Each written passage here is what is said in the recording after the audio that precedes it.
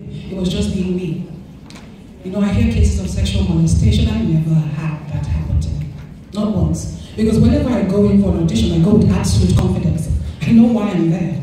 I know what I can offer. So you can't talk to me about anything else because I am there showing you what I can do.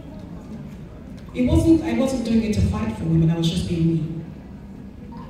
I've done a lot of projects uh, concerning women because I think my key areas eh, when it comes to anything I do is women and children, mostly female children. I'm very particular. Uh, I've been part of Hear Word, I just left them for four years, and it talks about women and the situation of women in Nigeria. I've been to the north. I've been to the north uh, east to see the situation of all the people who have been traumatized. And I say traumatized, I don't use that word. So it's the things going on in the northeast are horrible. When you go to one of the camps, you will be changed for life, I promise you. You see children who haven't eaten for days. You see mothers that can't feed their children. Husbands who have lost everything that they have.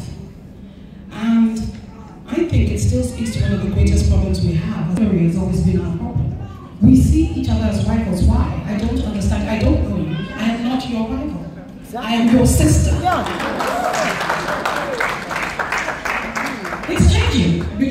because I try to do other things. That's what I do because I've had meetings with several women and they're always so negative. We can't afford to keep being negative to each other.